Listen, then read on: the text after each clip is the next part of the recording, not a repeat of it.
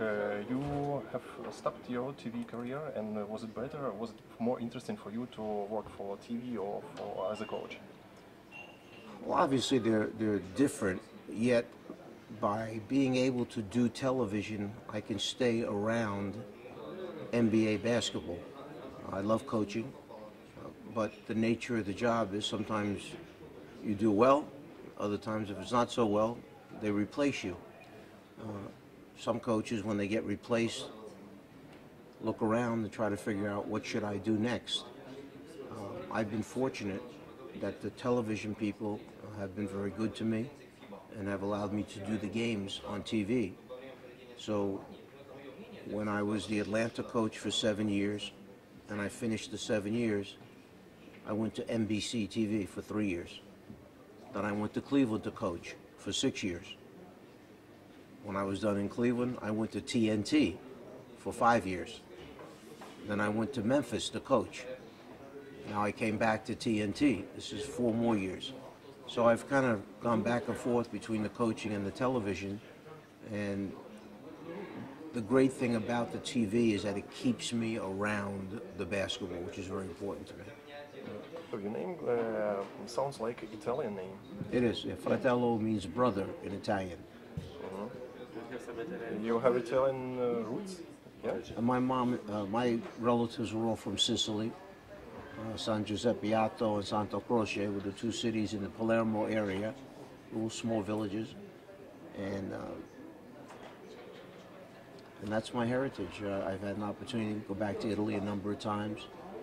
Uh, and it's great. It's a great country. They're great people. And uh, this is a great honor for me to be here, though, right now. Yeah, uh, as I know, you've been uh, in the Soviet Union in the uh, 80s, yeah, with uh, your team Atlanta Hawks, yeah, and you traveled through Soviet Union, yeah. Well, can, I can actually- you remember? I the was actually situation? back here last year for, we did, uh, they brought us in to do a clinic. It was like a sports day for 800 children, and they had the big festival and everything. We, we came in and spent two or three days. We did clinics, we did the coaches thing, and then and then we went right back out again. On the way back, we stopped in Moscow. We had dinner that night, and then we, you know, we flew back out after that. So it was about a three or four day stay. And uh, that, I remember somebody saying to me, "You might be the first American that's ever been to this, to this city that we were in." I, I, I can't remember the name of the city. Do you? Do you remember where I was? Samara, no? They had built, they had built brand new um, swimming pool building, gymnasium building, and another, all in this small little town that, that we went to. It's not far from Moscow? It, we had to fly. Uh, we had to take. We not only do we fly into Moscow, we had to take the next plane to get to where we were going to. It was a very small town. They said uh, every time I said to them, "Well, they were, they were, don't worry about it." You know, it's like that. But it was. We stayed there for three days. It was very, very small, very beautiful, small city. Very clean. Everything, everything was painted new. It looked very nice. Almost looked like a Swiss Swiss village almost, the architecture of this little city. So, But uh, can you remember your first time uh, in Soviet Union? What, what it means for American in 80s to come to uh, Yes. Soviet Union? Yes. You've been impressed, I think. Well, I'll just tell you this: when we got on the bus to go to the first place that we were staying, cows walked across the street, and they decided to stop. They wouldn't let us move. We just sat there until the cows decided to move, and it was it was Sukhumi, I think, wa- was our original stop. And uh, we just sat there until the cows were ready to move. And then when they decided to move on, then we, the bus went to the next place we were going. And then uh, one of the first nights that we stayed in the facilities that they put us up in, um, lightning hit the building. We lost all of our, all of, we had no lights. So we were all in this building like dormitories almost with candles uh, for, for the night because we had no electricity for the night. So it wasn't the best start to everything.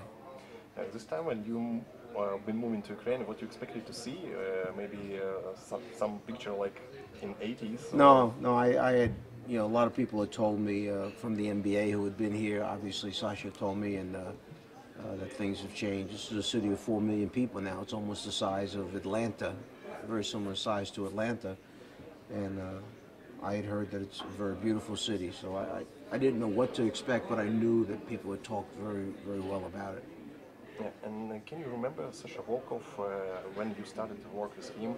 Uh, how he was uh, at that time and uh, how he tried to to be involved in American life, maybe on Well, obviously, we were uh, impressed enough with him that we drafted him and signed him to a contract, and he wound up playing for us in the NBA as one of the first players, you know, to come and play there.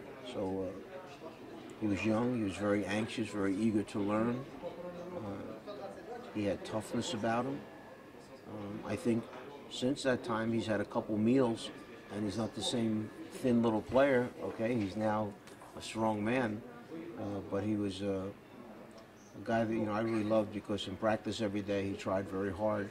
You know, we had pretty good players, Dominique Wilkins and Doc Rivers and that whole group. So he was playing with some very good players. Was it hard for him uh, at that time uh, to to leave and to play in America? Well, I imagine that you know the challenge for him was great, but because he loves to play so much, I think also there, there probably was some frustration that he wasn't able to get more minutes because here he played and was used to playing so many minutes. There, I had a Dominique Wilkins, you know, that Kevin Willis. Had people in front of him that he, he couldn't play the same number of minutes. So it made it hard, especially, but that's good. That's the kind of player you want. You want a player that wants to play. The bad players are the ones who don't care if they play. They don't try hard. They just take the check. They, I, I want players that feel bad that they're not playing because that means that they have a hunger to play the game. And uh, maybe you you are now in the same position like he uh, in the 80s in America. You came to Ukraine, and it's something new for you. It's uh, mm, different country, yeah, different uh, psychology, uh, everything different. Uh, maybe you feel something like Sasha in 80s. Well, you know, you're a little bit apprehensive going in because, as you said, there, there's a lot that you don't know.